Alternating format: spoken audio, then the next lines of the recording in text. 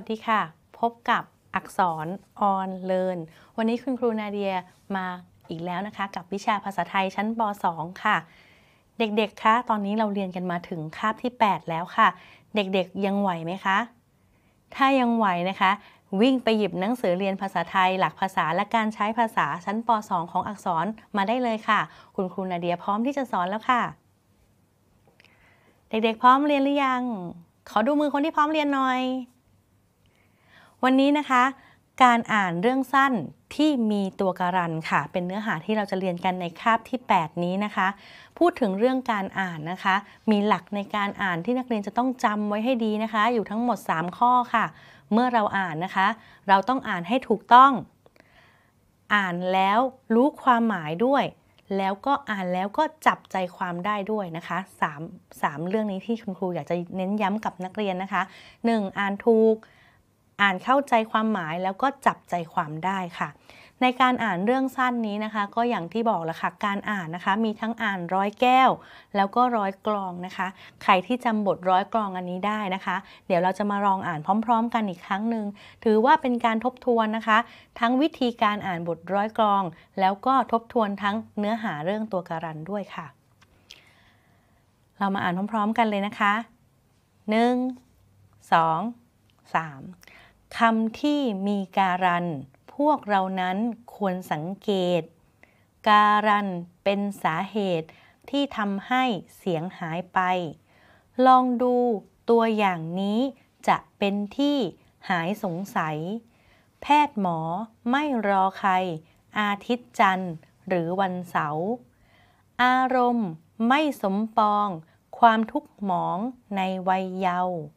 พยากรณ์ดู เหตุการณ์เข้า ไม่ระรานเผ่าพันธุ์ใคร นิพนธ์และประพันธ์ เข้าเขตขันที่แห่งใหม่ ทั้งหมดออกเสียงได้ขาดตรงที่มีการันค่ะ อย่าลืมนะคะ ตัวการันออกเสียงไม่ได้นะคะ นี่เป็นบทการอ่านคำบทร้อยกองที่เป็นเรื่องของตัวการันนั่นเองค่ะ เด็กๆเเห็นคำแล้วนะคะ เด็กๆอ่านได้ถูกต้องแล้วนะคะ เด็กๆก็เข้าใจความหมายของคำด้วยค่ะ บางคำก็ง่ายนะคะ บางคำก็ยากเพิ่งจะมาเจอเหตุการณ์นี้คำนี้ในชั้นป .2 นี่แหละนะคะ เดี๋ยวเราลองมาดูกันนะคะว่า มีคำไหนบ้างที่น่าสนใจสำหรับเด็กๆค่ะ สิ่งที่เด็กๆ ควรรู้เกี่ยวกับความหมายของคำวันนี้คุณครูนาเดียนนำเสนอ 5คำด้วยกันค่ะคำใหม่ที่เด็กๆ น่าจะรู้ก็คือคำว่า พยากรณ์พยากรณ์นะคะ ก็หมายถึงการทำนายหรือว่าคาดเดาค่ะ โดยอาศัยหลักวิชา ถ้าเป็นพยากรณ์อากาศก็ต้องมีความรู้เรื่องภูมิศาสตร์นะคะ แต่พูดถึงพยากรณ์เด็กๆ ก็จะนึกไปถึงการดูดวง ดูลายมือ หรือเป็นไพ่ยิปซีพยากรณ์ซะมากกว่านะคะ แต่จริงๆ พยากรณ์ก็คือการคาดการล่วงหน้านั่นเอง ถัดมาคำที่สองค่ะ เผ่าพันธุ์ สังเกตดีๆนะคะ ว่าคำว่าเผ่าพันธุ์ จะมีทอทงสระอุกรัน ไม่เหมือนกับพันธุ์ที่เป็นทอทงกรันตัวเดียวนะคะคำว่าเผ่าพันธุ์นี้ค่ะ มีที่มาคำว่าพันธุกรรม ก็คือเชื้อสายนั่นเองค่ะคำที่ 3 นิพนธ์คือเรื่องที่แต่งขึ้นค่ะ นิพนธ์เรื่องนี้เป็นบทนิพนธ์ของใครก็ว่าไปนะคะ เป็นเรื่องที่แต่งขึ้นไม่ใช่เรื่องจริงค่ะ ส่วนพระราชนิพนธ์ถ้าหนูไปเจอนะคะคำว่าพระราชนิพนธ์ พระราชก็คือพระราชานั่นเองค่ะ นิพนธ์ถ้าเมื่อไหร่เป็นพระราชนิพนธ์แสดงว่าเรื่องนั้นค่ะถูกแต่งขึ้นโดยกษัตริย์ หรือว่าพระราชาค่ะ ถัดมานะคะคำที่ 4 ประพันธ์ทอทงการันไม่มีสระอุนะคะ หมายถึงแต่งหรือเรียบเรียงขึ้น จะเป็นบทร้อยกอง บทร้อยกรอง บทร้อยแก้ว หรือว่าจะเป็นเพลงก็ได้ค่ะ ก็เรียกว่าเป็นการประพันธ์ขึ้นมาทั้งนั้นเลยนะคะ สุดท้ายค่ะคำที่ 5 ขันทอทงการันค่ะ ขันมีความหมายว่าแบ่งออกแล้วนะคะ เป็นตัวหมู่กอง พวก หมวด เป็นกลุ่มค่ะ การแบ่งเขตขันก็คือการแบ่งเขตต่างๆ ออกเป็นกลุ่มๆนะคะ นี่คือคำศัพท์ที่เราควรจะเรียนรู้ค่ะ เวลาเราอ่านเรื่องไหนนะคะที่เป็นเรื่องใหม่นะคะ ก็ต้องคอยดูว่ามีคำศัพท์ไหนไหมที่เรานะคะ ยังไม่รู้ความหมาย เราก็จดลงสมุดไว้ แล้วก็ไปเปิดหาในพจนานุกรมได้ค่ะ นอกจากบทร้อยกลองที่เราได้อ่านร่วมกันไปแล้วนะคะ ยังมีอีกเรื่องหนึ่งมาให้เด็กๆลองอ่านค่ะ อันนี้เป็นเรื่องราวที่มีตัวกลันค่อนข้างเยอะ แล้วก็ค่อนข้างจะยาก เด็กคนไหนที่อ่านไม่ได้ยังไม่ต้องลำบากใจนะคะ เดี๋ยวเราฝึกฝนกันไปก็จะอ่านเก่งค่ะ เราลองมาดูเรื่องนี้กันค่ะ เรื่องสั้นที่มีตัวกรันในวันนี้นะคะ เป็นเรื่องราวในรามเกียรติ์ค่ะ มีทั้งภาคสวรรค์ และภาคมนุษย์ ตัวละครมีความมหัศจรรย์ มนุษย์ ยักษ์ และสัตว์ในเรื่อง มีอิทธิปาฏิหาริย์มากมาย ฝ่ายมนุษย์มีพระรามและพระลักษมณ์เป็นหัวหน้า ฝ่ายยักษ์มีทศกัณฐ์เป็นหัวหน้า ทั้งสองฝ่ายทำสงครามรบกันนานถึง 14 ปี สนามรบมักเป็นบริเวณป่า เราจึงรู้จักพันไม้นานาชนิดได้จากเรื่องนี้ นี่คือเรื่องเนื้อหาที่คุณครูนะคะเอามาให้นักเรียนอ่าน เราลองมาดูคำศัพท์ในเรื่องสั้นที่คุณครูให้อ่านกันดีกว่านะคะ เรื่องราวในเรื่องรามเกียรติ์นะคะ เรื่องรามเกียรติ์นี้เด็ก ๆ บางคนอาจจะชอบมากเลย เพราะว่าเป็นเรื่องที่สนุกสนานนะคะ ถึงแม้เนื้อเรื่องจะยาว แล้วก็มีตัวละครมากมาย แต่ก็เป็นการสู้รบกันระหว่างมนุษย์กับยักษ์นะคะ เรื่องรามเกียรติ์นี้เนี่ยมีจุดมุ่งหมาย เพื่อที่จะแต่งเพื่อเชิดชูเกียรติของพระรามนะคะ ตามชื่อเรื่องแล้ว นี่ค่ะ สำหรับคนที่อ่านได้นะคะ คุณครูก็ขอปรบมือให้นะคะ ว่าเก่งมาก ๆ เลย แต่สำหรับคนที่อ่านไม่ได้ก็ไม่ต้องตกใจนะคะคำนี้ค่ะ อ่านว่ารามเกียรติ์นะคะ เวลาอ่านอ่านเป็นแยกคำว่ายังไงหรอคะรออามอราม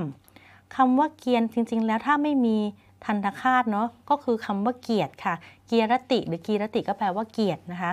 พอเราใส่ตัวทันตคาตเข้าไปก็เลยค่าเสียง ค่าเสียงทั้งต่อเต่าสระอีเลยนะคะ ก็เลยเป็นลามมะกอเอีย รอเกียน ตัวนี้ไม่ออกเสียง อ่านว่ารามเกียรติไม่อ่านว่ารามเกียรติอีกต่อไปก็คือเป็นการเชิดชูเกียรติของพระรามนั่นเอง แม้จะเปลี่ยนเสียงอ่านนะคะ แต่ความหมายก็ยังคำเดิมตามรูปศัพท์เดิมค่ะ ถัดมานะคะคำว่าสวรรค์คำว่าสวรรค์นะคะ เราเห็นแล้วละค่ะว่าคอควายไม่ออกเสียงนะคะ และอ่านด้วยลอหันนะคะ อยู่ตามอักษรสูงหรือกลางนำพยัญชนะอักษรต่ำเดี่ยวจำได้ใช่ไหมคะ ในที่นี้ก็คือวอแหวนนะคะ งูใหญ่ยักษ์นอนณริมวัดโมลิโลกนะคะ ถัดมามนุษย์ ยอยักษ์กลันค่ะ นออุสอนุษนะคะ ถ้าบังเอิญไม่มีทันตคาตนะคะ ก็จะอ่านต่อเป็นมนุษยะได้ จะเป็นมนุษย วิทยาอะไรก็ว่าไป ตัวละครมีความคำนี้ค่ะ ยาวนิดนึงนะคะ เด็กๆก็อาจจะไม่ค่อยชอบทั้งอ่าน ไม่ชอบทั้งเขียนเลยนะคะ ดูยาก มหัศจรรอหันกลันยอ ตัวละครมีความมหัศจรรย์นะคะคำไหนที่มันยากเราก็พยายามจำให้มันสนุกสนานเข้าไว้ มะหัสจอรอหันกลันที่ตัวยอ ใส่ธนคาตเข้าไป มหัสจรรอหัน ยอการันนะคะการันยอ แปลว่าความแปลกใหม่นะคะไม่ไม่ไม่เป็นปกตินะคะมหัศจรรย์ มนุษย์เจอแล้วสามยักษ์มีสอบอฤษีนะคะสอบอหรือเราเรียกสั้นๆว่าสอบอจะได้จำได้แต่จริงๆ ต้องอ่านว่าสอฤษีสอฤษีกลันนะคะสอฤษีทำให้เรารู้ว่ามันมาจากคำว่ายักษ์แบบเนี้ยซึ่งเราอาจจะเติมอะไรเข้าไปก็ได้ เช่น ยักษ์สา ยักษ์สีอ่าแล้วแต่นะคะ สัตว์มีตัววอแหวนกรัน ซึ่งเราก็รู้จักความหมายแล้ว อันนี้อิทธิปาฏิหาริย์โอ้โหเป็นเรื่องที่ไม่ใช่ไม่ใช่เรื่องจริงเลยเป็นปาฏิหาริย์คือเกินจริงไปนะคะ ถัดมาค่ะ ฝ่ายมนุษย์มีพระรามกับพระลักษ์พระลักษ์เป็นน้องของพระรามนะคะ เขาบอกว่าความจริงนะคะ พระรามเนี่ยเป็นเทพองค์หนึ่งนะคะของศาสนาพราหมณ์นะคะ อวตารมาเกิด อวตารก็คือการแบ่งภาคมาเกิดนะคะ พระรามก็คือพระนารายณ์ส่วนพระลักษณ์นะคะ มาเกิดเป็นน้องของพระรามเนี่ยก็เป็นหนึ่งในอาวุธของพระรามนะคะ ที่มาเกิดอวตารมาเกิดด้วย ฝ่ายยักษ์สานะคะ มีทศกัณฐ์เป็นหัวหน้า ทศกัณฐ์เด็กๆ คงรู้จักนะคะ ดังมากเป็นยักษ์ที่ดังที่สุดนะคะ ทศแปลว่า 10 อ่าทศนะคะ แปลว่า 10 ทศกัณฐ์เนี่ยนะคะเขาเป็นยักษ์ มีทั้งหมด 10 หน้า 20 มือ เก่งมากเหาะเหินเดินอากาศได้นะคะ คุณครูก็เลยสงสัยอยากจะถามนักเรียนว่าคำว่ากันเนี้ยค่ะกอไก่ ไม้หันอากาศ นอนเนนถอสันฐานกรัน กันนี้แปลว่าอะไรใครทราบบ้างคะ ลองเดาสิเขามีทศกัณฐ์มีสิบ อะไร อืมสิบหน้าไม่ใช่ค่ะยังไม่ถูกสิบหน้าต้องทศพักเนาะทศพักแปลว่าใบหน้าสิบอะไรคะสิบสิบมือไม่ใช่ค่ะ เขามียี่สิบมือ เขามีสิบหน้ายี่สิบมือ กันไม่ได้แปลว่ามือแน่เลย กันแปลว่าอะไรคะหูไม่ใช่ค่ะ หูต้องเขียนแบบนี้ค่ะกอรอหัน นอเนนนะ กันแบบนี้ค่ะหู ทศกัณฐ์อันนี้ครูจะไม่ปล่อยให้เด็กๆงงนะคะ ครูจะเฉลยเลย ทศกัณฐ์นะคะ มีความหมายว่ากันถะมีความหมายว่าคอ เป็นผู้ที่มีสิบคอเองอันเป็นที่ตั้งของหัวนะคะสิบหัว ทศเสียนนะทศพักทศทศอะไรก็แล้วแต่ทศกัณฐ์แปลว่า ผู้ที่มีสิบคอ นักเรียนสังเกตตัวกลันค่ะถอสันฐานจำได้ไหมคะที่เราบอกว่าตัวสันฐานถอสันฐานนะมีไม่เยอะหรอกนะ มีคำว่า ประดิษฐ์ แล้วก็เราเจออีกคำหนึ่งแล้วค่ะ ทศกัณฐ์อย่าลืมนะคะ จดเอาไว้ อุ้ยขอโทษค่ะ จดเอาไว้ในคลังคำของเรานะคะคำสุดท้ายก็คือคำว่าพันไม้ค่ะ อันนี้เนี่ยนะคะจะเห็นว่าพันไม้ก็เป็นพันธุกาลันเหมือนกันหมายถึง พันธุกรรมพันธุศาสตร์นะคะจะเป็นพันพืชพันสัตว์ใช้พันนี้หมดเลยนะคะ อย่างที่คุณครูได้บอกไปนะคะ ในการอ่านไม่ว่าจะเป็นอ่านเรื่องสั้นอ่านบทร้อยกองอะไรก็แล้วแต่อย่าลืมนะคะ 3 หลักสำคัญก็คือ อ่านให้ถูกต้องรู้ความหมายของคำแล้วก็จับใจความให้ได้นะคะ อย่างเรื่องที่คุณครูให้อ่านไปนี้นะคะ ถ้าคุณครูย้อนถามเด็กๆนะคะว่า เป็นเรื่องรามเกียรติ์เนี่ยเป็นเรื่องของการรบระหว่างใครกับใคร นักเรียนจะต้องจำให้ได้ ตอบคุณครูว่า เป็นเรื่องการลบระหว่างมนุษย์กับยักษ์ถ้าคุณครูถามนักเรียนว่า ฝ่ายมนุษย์มีใครเป็นผู้นำทัพคะ นักเรียนก็จะตอบคุณครูว่า ใครทราบสองคน ใช่แล้วค่ะ ถูกต้องพระรามกับพระรักค่ะ ส่วนทางฝ่ายยักษ์มีใครเป็นหัวหน้าคะ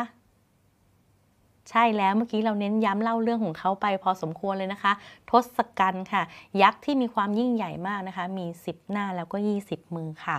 สำหรับวันนี้นะคะเด็กๆ การอ่านคำที่มีการอ่านเรื่องสั้นนะคะ ที่มีตัวกรันทำให้เด็กได้รู้จักคำที่มีตัวกรันมากขึ้นหลายคำแล้วนะคะ ขอให้เด็กกลับไปทบทวนนะคะ แล้วก็เตรียมตัวมาเรียนกับคุณครูในคลิปต่อไปได้ค่ะสำหรับวันนี้บายบายกันก่อนค่ะ